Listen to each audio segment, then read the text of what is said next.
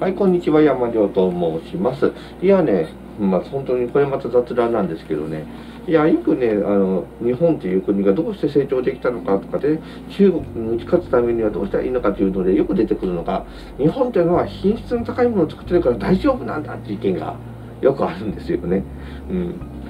でね、あの日本というのはその中国というのはね低品質なものばっかりして作ってるけど日本というのはちゃんと高品質なものを作るっていう技術力とかがあるから、ねえーだから日本っていうのは中国に負けないんだっていう人が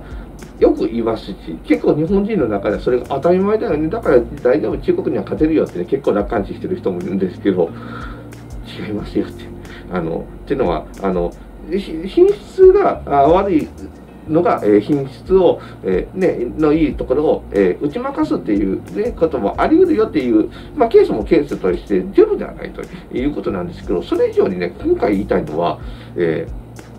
品質っていうものの定義あの皆さん大丈夫ですかっていうところからね、えちょっとね、語っていきたいなと思います。あれ、ちょっとピントが合わないけど、まあいいか、このまま続けますね。別に私の顔がピントずぶれててもあんまり関係ないですからね、この動画。で、品質っていうものなんだか、まあまたちょっと簡単にまとめましたけど、一応ね、品質っていうのはね、品物またはサービスの機能、なんか品質の言葉の意味ね、えーを結構間違えてるケースが多いよということね。で、えー品質またはサービスの機能性または外観性などの、えー顧客が要求する特性を満たすっていうのが、これが品質の特徴というものの定義です。えー何が言いたいかというと、要は、あの、例えば、えーいわゆる、えーいね、300回使える、えーねえーどうしようかな、300回、えー使える、えーえーこうパチパチパチパチできるライトがあったとしましょう。ねえー私ね、日本のやつは300回、えー点として使まで使えますよ。それに対して中国のやつは、えー 100, 100回までしかできません。いや日本のやつは品質がいいじゃないですか。ってね思うかもしれませんけど確かに品質がいいというかこの場合クオリティは高いですね。クオリティは高いんです。ただ、ね、全体の品質というものは例えばこれがところが、ね、3分の3倍、えー使いますけど値段が10倍します。中国の方は10分の1ですっていう場合には3回特化イルだけで、その特化イル手間賃とかっていうのがかかるよねとかどうかっていうのでも寄ってくるかもしれませんけど、ね、そこがないっていうね、簡単にカチカチって変えれるやつだったとしたらね、だとしたら、10分の1の値段でやるってことは、例えばそれがね、えー日本のやつが1000円する。でね、中国のやつが100円でね、えー買えるよ。それでね、3分の1しか持たないけど、3回買えても300円じゃないですか。ってなったら、あれ、そっちの方がお値段安くて済みますよね。ってなったら、それでお客さんは、いや、こっちと、じゃあこっちの方がいいじゃんってなっちゃうと、実は、えーそれはお客様が求めてる品質に対して満たしているのが中国製で、日本はその品質を満たしていないという扱いなんですよね。これ品質の本質なんで、えーあの、ここをね、見余ると、すごく大事なことです。だから、日本が言ってるこの品質の改善っていうのは、え本来は、そのクオリティが改善されることによって、コストやデリバリーを良くするっていうことによって、全体の品質ってものがよくない。これ品質3要素なんて言ったりするんですけどね、品質業界ではよく言うことです。ですから、コストがね、その、改善することによってね、その品質を上げることによって、コストがバカみたいに高くなったりね、えーそれによって、えーのえーと、デリバリーで納期ね、ね納期が遅れるような、えケースが出てくるような、ね、えーいや、すごくいいものが作れました。でもね、すいません、もう作れる量が10分の1になっちゃいましたから、うん、もういいものだけを作るんで、もう10分の1になりますんで、あのすいません、あの業者さんが言っとった納期には間に合いませんとかってなったら意味がないわけなんですよ。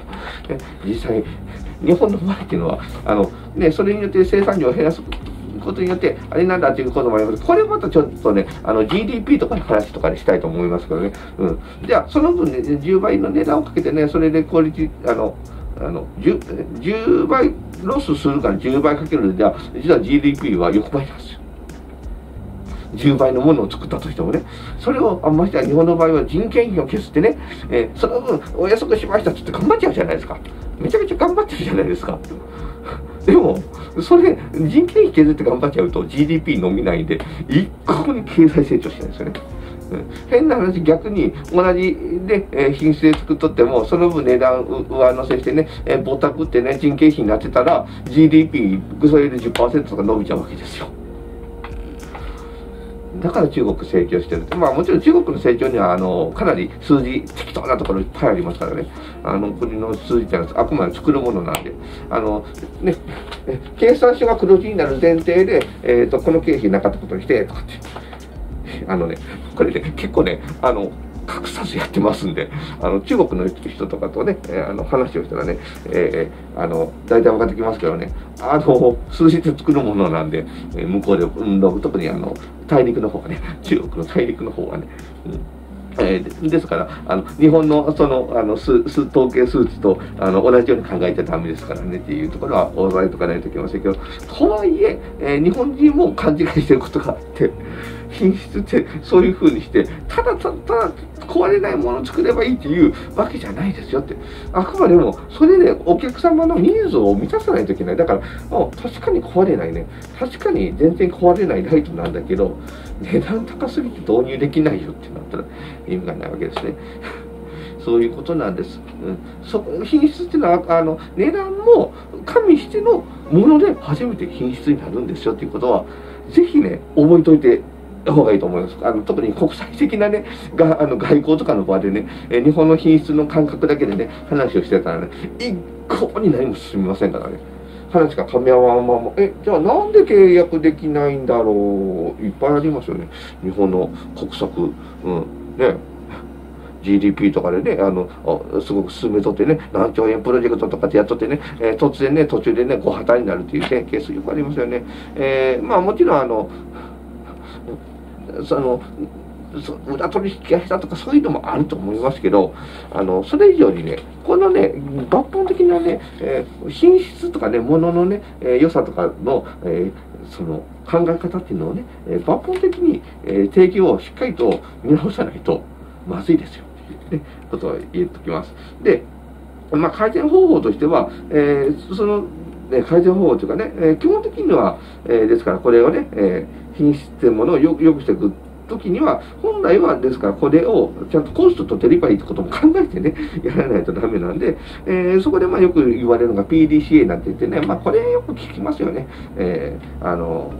現場管理とかやってる人なんで一度は聞いたことあると思いますけど、えー、プラン、計画を立てて、えー、改善案を出してね、そこから実際にそれを実行してみて、do ね、えー、してみて、で、そこから何か問題が起こったかなっていうのをチェックして、ここ大事なんですよ。日本の場合、ここを隠蔽しちゃいますからね。よくありますからね。いや、これだけの成果が出たことにしないといけないからって、どこ郵便局とか郵便局とか郵便局とかやってますけど、うん。ね、うん、で、お上には一切、あの、さあの問題のないほあの案件でしたとかってね、あげますからね。あの、副社長からね、出したメッセージが出たらね、もう絶対ですからね、あの、なんだ、あの、30分、あの、30分残業の長期はダメ。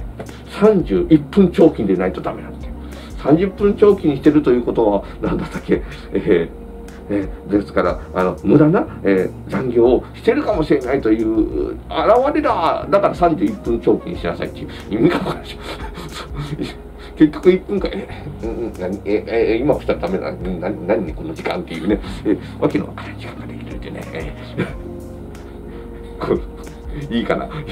もういいや、こここは YouTube じゃないからいいや、言っちゃいますけどね、そういうことありましたよということで、えその中からチェック大事なんですよ。で、あとはそこからアクションって言ってね、実行していきますよ。それでチェックして、えー、よくしたものをさらに実行していくっていうね、えー、PDCA ってサークルがありますよということですね。うん。え例えば、だ品質の話に戻したときに、ちょっと横に書いてあるから、せっかくだから話をしますとね、じゃあ、えー、どういうような、えー、要求に対して満たすことができるのかというのを考えたときにね、例えば、タイヤっていうのが一番分かりやすい例かなと思います。ね。えー、日本っていうのは言うなれば、えー、品質の良さを追求してね、予選一発採用みたいなね、すん、あの、これあのレース、レースのね、タイヤね、あの、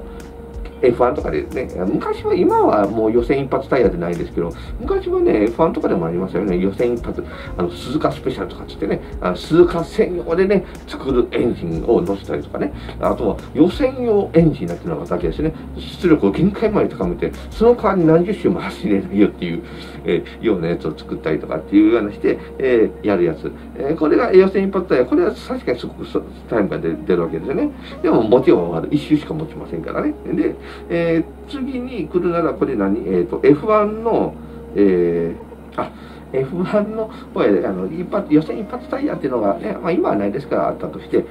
えーまあ、次に来るなら決勝用タイヤ、まあ、これもでも言って300キロしか走れないわけですよね。あの大体 F1 が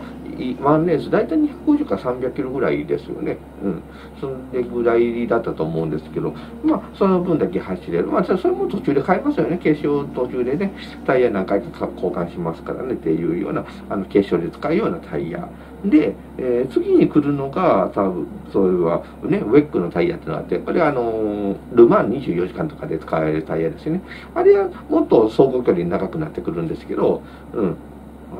ですよね。多分なんか、あんまり変わらんから。今、もう今 F1 多分変わらんかな。でも、サルト、あ、でも違う、サルトサーキットだってあそこ、ね、な7キロとかね、あの、一周が長いですからね、普通が大体2、3キロ、まあ、あの、鈴鹿サーキットは長い5.8キロありますけどね、普通3、4キロぐらいなんですよね。で、対して確かあそこは7、7、8キロあるんですよね。一周が長いからもうその分仕方ない。あの、ニュールとかね、ニュールの急コースとかもそうですけど、っていうふうにして、まあ、ロングランができるような感じでは作りますけど、うん、ね、市販車のタイヤと比べたら全然じゃないですか。市販車のタイヤっていうのは、その代わり絶対 F1 みたいな速さで走れませんよ。ね、ですけど、市販車のタイヤは全部水も入るって、雨の日でも風の日でもね、同じようにそのまま履いて走れますよね。で、3000キロとかね、6000キロとか走れますよね。ね、1万キロ、3000キロで悪くなるタイヤだったら相当で悪い品ですよね。新品で買ったら、で3万3万キロぐらい走れるかな、うんね、ですよね。うんですから、市販車のタイヤっていうのは、全然そうすると一周しか走れないタイヤと比べたら全然違いますよね。でも、ね、そのとにかく一周でもいいから速さを求めるっていう顧客のニーズがあるから、要するに一発タイヤがあって、で、市販タイヤっていうのもある。まあ、だから市販タイヤもいろんな種類がありますよね。あの、スポーツ性能の高いやつとかね、いろいろあったりしますし。まあ、市販車の場合は、ウェットタイヤとかね、あの、ドライタイヤみたいなのがないですけど、全天候ですけどね。あ、でもスタッドレスなんていうのはそうですよね。あれは雨の日なんかに走ったら、もうぐにゃぐにゃでとてもじゃないか走れませんけど、ね、えー、雨の日の高速なんか、スタッドレスでね、夏場なんか走っちゃダメですからね。本当あの、命に関わりますからね。えー、ぐにゃんってなりますからね。びっくりしますよ。昔ちょっと一回走、何かで間違えて走ってしまったことありますけど、うん。ね、えー、で、えー、いうのがありますけども、あれを雪のところでは聞くから、やっぱりニーズがあるわけですね。特にね、雪が降るかもしれない地域、雪が降る地域だったら、スタートレス必需品じゃないですか。ね、えー、でも、沖縄の人にとって、スタートレスタイヤいりますかいらないですよね。うん、いや念のため沖縄でも雪が降るかもしれないからそれね多分100年に一度あってもびっくりってくるでしょっていう、ね、そのためにねいつ使うかもわからないタイヤ買ってそれはさすがにあれでしょ。でもこの地域だったら微妙ですよね。四日市だったら微妙でしょ。うん。まあでも大体手段があるんだったらいいかなという感じですし、まあで、えー、それこそ、あの、上に行ってね、えー、滋賀から上行って、滋賀でも相当降りますからね、えー、滋賀とか金沢とかね、あっちの方ね、新潟とかの人でね、え、冬にスタッドレスタイヤなんて買わないよってね、いや、チェーンもつけつけないよっていう人いたらね、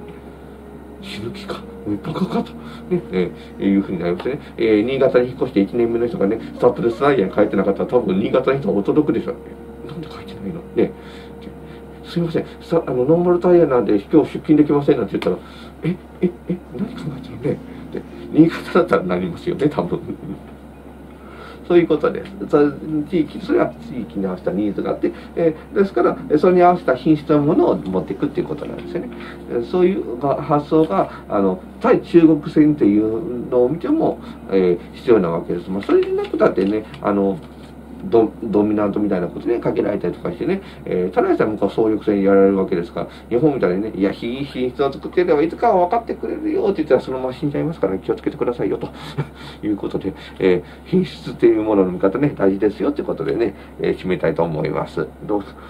こんな感じでやってます。としばらくこんなのが続きますんでね、よろしくお願いいたします。ということでね、えー、この動画はこれくらいで締めたいと思います。ご視聴ありがとうございました。